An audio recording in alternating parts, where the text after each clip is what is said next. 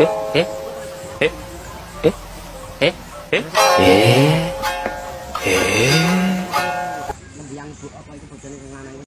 Salam baku hantam khusus pecinta militer garis keras. Baju loreng memang sangar jika digunakan oleh TNI. Tetapi apa jadinya jika baju loreng itu berwarna orange yang digunakan oleh pemuda Pancasila? Tentu saja sangat keren kawan. Iya iya iya iya iya. Namun, akhir-akhir ini Ormas Pemuda Pancasila menjadi sorotan publik lantaran ada salah satu oknum yang ikut makan saat hajatan.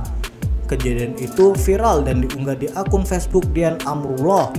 Ia mengeluh pada salah seorang oknum anggota organisasi masyarakat atau Ormas Pemuda Pancasila.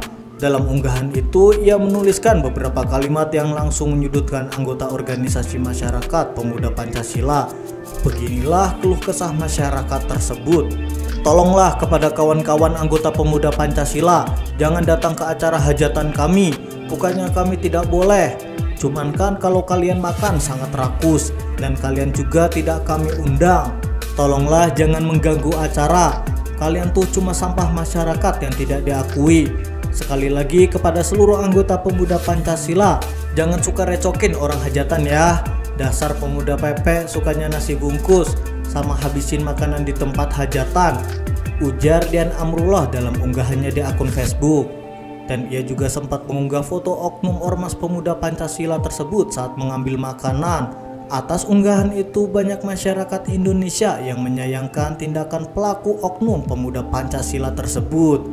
Menurut kalian, wajarkah jika masyarakat marah dengan oknum yang tidak diundang ini? Silakan adu mekanik di kolam komentar.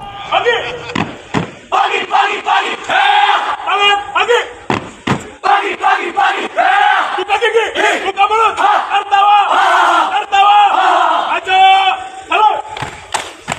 Kami pemuda Pancasila punya nyali dan punya sikap, malam kami untuk satu tekad yang sama. Kami pemuda Pancasila.